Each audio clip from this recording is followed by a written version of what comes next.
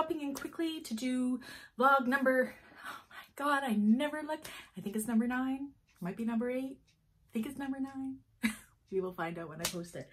Um, yeah, it's it's been a busy week. Uh, things are starting to get back to normal uh, now here, I guess. Um, I'm headed back to work full time next week. So as sad as I am that that takes away from my sewing time, it's at the same time going to be really nice to get out of out of the house and go to office and be able to work that way again. Um, my husband is still laid off, but uh, all's well there. We've got lots of stuff going on around the house. He's finishing renos. Um, he's doing some gardening. I'm trying to talk him into getting on his Harley and just going for a ride with his friends. So hopefully he does that. Um, that's a great stress reliever and he really deserves it because he takes care of us all so well. Um, over the weekend, I was going to deliver things on Friday. Unfortunately, I came down with a case of strep throat. I was so scared it was going to be COVID. Thank goodness it was not. I got some antibiotics, feeling much better now. Um, yeah, strep throat. I get it every June. I should have known that's what it was. So, um, yeah, so I'm feeling much better now. Didn't get any sewing done this weekend due to that because I was just resting because I wanted to get her done. Get it over with. Be healthy. So, especially because I'm going back to work next week. Um, but last week I did get a few, things done. I will be delivering them today. I will show you. So this here, I, this is uh, called a day trip wallet. This will actually be the last one that I think I make. This is one of the very first patterns that I ever made. It's uh, it's by Sew Sweetness. It's a great pattern. I just find that the phones are starting to get too big to fit into the cell phone pocket here. So um, yeah, I am retiring this one for now, but I had to mainly show off this amazing fabric. This was from Spoonflower. This is for Mandy and she likes the bees. So this was really fun to fussy cut and figure out uh, where I was going to place the bees or whatever. And it goes so amazingly with this gold hardware. So she's got a place here. Hopefully her phone fits. It may not, I'm not sure. Um, and it's, it's mainly just a wallet. It's a zipper on wallet and she chose Galaxy print, also from Spoonflower, as the interior. So I hope she really likes this. Um, I said I love these bumblebees. Again, it was a Spoonflower fabric. Um, I love Spoonflower. You can get anything you're looking for. So she's got a one of a kind day trip wallet. Um, the other things I worked on was I know I've had this fabric before with this bag, but it was for a uh, medium-sized Nora Doctor bag. The Nora Doctor bag comes in small, medium, and a traveler size. This is the small size. It is super adorable. Um, I did change it to have shoulder length straps for Mary, as she usually just comes with handbag straps, but she wants to be able to wear it on her shoulder. But I mean, how adorable. Wanda also had the medium uh, Nora Doctor bag done in the same uh, Spoonflower fabric with the dragonflies. Unfortunately, the way it falls, the this goes right over the dragonfly's head, but it still turned out amazing. Amazing. And it's super cute. She chose like a blush pink interior. It just has the one zipper pocket. She's got the rainbow zippers, the rainbow hardware. So this is off to Mary. Uh, Mary also ordered a matching, I mean, how cute, diamond clutch wallet it's almost as big as the bag. So yeah, again, this is uh, Spoonflower fabric. There's dragonflies, so this is where it opens up. She's got all the card slots. She's got places for bills. This out, and then the coins, coins here. Um, this is by far my favorite um, wallet to make and my favorite pattern. I have two of these myself. And this is how it opens on the back. And a cell phone does fit in there. So that is so nice. And I think she's really going to like it. So that will be going out in the mail for her here pretty quick as well. I just realized I left the other bag upstairs. So I'm going to just pause this. I'm going to go upstairs, get the bag that I made for myself. I got to show it off. So I will okay, be right back. back. You probably didn't even notice I was gone. Anyways, I had to show off. I did a tutorial, a YouTube tutorial on the Swoon Harriet uh, vintage expandable tote. Trust me, it doesn't look like a tote it is a handbag and I kept this one for myself. How cute is this? I mean, look at that shape. It looks full because I have all my stuff in it. One thing I love about this is if you needed more space, you unzip the sides like this. And then they pop out like this to make it have a little bit more space. And then to get the shape back, you just stuff it back in and zip it up again. I am in love with this bag, so in love with it. So it has a magnetics, it's just got the handbag straps. Um, again, if you wanted one, I could extend them to shoulder straps. It does not have a way to do a crossbody. The only way I could do a crossbody if you wanted it is if we made it uh, um, detachable and then you could just clip one here on the front and one of them here on the back and that would work, but that kind of makes your straps hang funny.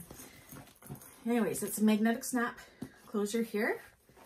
And again, I have all of my stuff in it already. Like, I just love this bag. And then, as I was just talking about the diamond clutch wallet, I made myself a matching one. So yeah, I love matching wallets and bags together. So this one, um, for myself, I actually added on a um, wristlet. So then I could carry it without the bag if I wanted to. Anybody can order a wristlet for an extra $7. I can add it to the bag. Um, this one, I did it in such a way, I don't know if you can see, it doesn't really have a zipper pull. I made the wristlet the zipper pull. So if you wanted to add a wristlet, you could have that where the zipper and the wristlet are the zipper pull, or you could have a regular zipper pull and just snip this into the ring of the zipper pull. But I plan on keeping that on it, so I did that. But yeah, this is the diamond clutch wallet. I would show you that my phone fits in there, but of course I'm using my phone to film this, but there's that pocket there. And then of course, when you open it up, there's all my cards. So you got places for bills and everything. My new favorite set. This is what I'm, I'm carrying right now. Actually, this will be my first time out with her today. So um, I'm super excited about that. So yeah, it looks like good response on my Harriet uh, tutorial. Um, it was very fun to make, or it was a lot of fun to make. Um, tutorials coming up next for my, my bag maker community. Um, I have two more bags on order, which I will be doing this week. I have um, Alana's Hey Mercedes bag, which is by Sew Sweetness. I unfortunately can't do a tutorial on that because Sarah, who is the creator, Sarah Lawson, she does her own tutorials. So I completely respect that, but I will definitely show how Alana's bag turns out. She got some really nice pastel colored uh, kind watercolory uh, fabric, which I will show off with my next vlog. It's going to be really, really pretty. And then she's doing it in like, a, uh, think she's used, oh, like a rose vinyl. It's, it's going to be really soft and a really pretty bag. So I'm excited to do that. I haven't made a Hey Mercedes bag in a couple years. It was one of my first bags that I did. Uh, Sew Sweetness is how I got my start with all bag making. Uh, Sarah Lawson is an amazing teacher. Um, with her her tutorials and uh, all that that she has on her website. So definitely check out Sew Sweetness. Um, and I also have uh, Tracy's Davina bag, which I'm doing in that vintage Mickey Mouse fabric um, and a dark gray vinyl. It's going to be super cute. I am debating, is it the Davina bag I'm doing for? Yeah, it is the Davina bag I'm doing for. I'm debating doing my next tutorial while I make that one. I'm not sure if there's a call for the D Davina bag by Bagstock tutorial. I know there's a few out there. If you want me to do it, I'm planning on doing it this weekend. So in the comments, say, yay, do the Davina Bagstock tutorial. Uh, do the Davina bag tutorial, and then I will make that my next tutorial. Otherwise, um, I'm going to start working down my list for uh, the Shambhala bags, and I've had a request for an NCW necessary clutch wallet tutorial. Again, there's a lot of tutorials on that out there, so I'm not sure if I will do that one or not, but I might. Um, if I happen to have an order for one, I will just do it.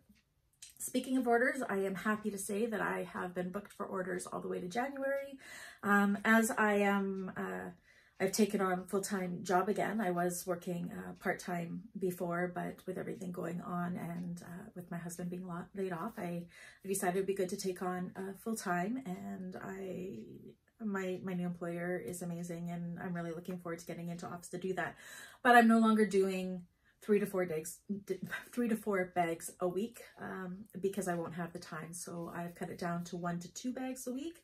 Uh, still a lot of bags going out every week and I am booked um, right to the beginning of January. I will be contacting, I think I have three more people on my wait list I need to get a hold of. So, um, and touch base with some that I have to make sure that they want to, to still save their spot. Um, before I call the next ones on the list.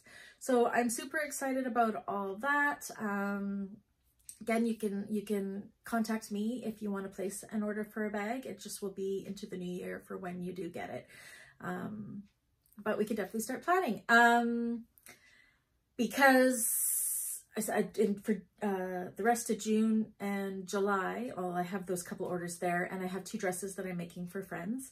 But for July and half of August, I don't have any bag orders happening, mainly because most of my fabric is coming from Spoonflower and it's taking two to three months to get here. So um, I have reopened for orders, taking that into mind. So um, yeah, start making bags again in August. My plan for July is to build my YouTube channel. I am pleased to announce that in the last couple weeks, I went from like hundred and some odd um, subscribers to 320. I am just so humbled and so overjoyed. Um, I am really hoping to get monetized. That is my goal. It's a goal that I've made for myself. So I need to have 1,000 subscribers for that. I believe I've already made the minimum requirement for minutes viewed, which is amazing.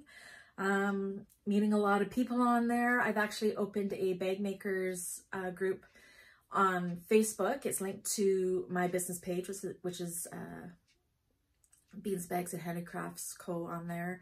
I will uh, leave a, a, link down in the bottom with my Facebook uh, page down below and you go in there, you hit join group and then it'll take you to the bag makers community and then I'm hoping that we can all give each other tips and hints and, and share our makes and it'll be a lot of fun. Um, I've got a, quite a few or quite a, quite a few new people that have gone on there. It's really fun. Um, I don't think there's that many Canadian bag maker groups out there. So everyone's welcome, of course, but it's kind of nice uh, that a couple Canadians have come on there and, and, we're being able to touch base and share our resources and everything. Um, and But we do welcome our American friends as well. Anybody, anybody join. Um, the bag makers community is amazing. So that's pretty much all that's going on. I'm trying to think. Canada Day's coming up on July 1st. I'm hoping I will be able to come on and do another vlog by then. We'll, we'll see. It depends what I have um, for content to show you guys. Um, yeah, so no, venturing out today is grocery shopping day. Kids have eaten us out of household home again. Um, so yeah, that's pretty much all I have to report. So I'm going to get these ones out in the mail today, do a few deliveries. Um, I am pleased to announce I am done making masks for my friends and family. I've made masks for, I made 128 masks. I'm so done making masks. I'm really looking forward to making my summer and fall wardrobe. Um, I've just started to venture into garment sewing, so my goal is to make myself all my new clothes and I have to go through all my old clothes and purge some of them and get them off to the women's shelter because a lot of those clothes I'm just not wearing or they're too big. Or I admit I do have some clothes from high school still which I definitely will never fit into again but um so yeah so that's that's the plan for the week. I've got uh Alana's bag to do I'm doing Tracy's bag I got those two dresses to do and then I'm gonna concentrate on um some YouTube content for the next uh, for the for the next month or so, which is very exciting to me. I'm learning a lot. Um, I feel like I've my channel has grown quite a bit in the last couple months, so I'm I'm very excited to see uh, where it goes and and how it is. Um, it's a good challenge because I'm not really all that comfortable in front of the camera, so um, coming out of my shell that way a bit, I guess. So everybody, please have a safe and happy day. Um, it looks like it's kind of overcast. I'm looking out the window now and it might possibly rain today. So we're going to go out. My husband and I are going to go to Cora's for breakfast and I think I might get some eggs Benedict. Um, yeah, just a little bit of a morning out, Walmart to shop, and then home to do some office work and hopefully a little bit of sewing. So everybody, please stay safe, have fun, wear your masks, stay healthy, avoid the COVID. We're knocking this thing in the butt. So hopefully it'll be gone soon and life will get even more back normal. Love ya. Bye-bye.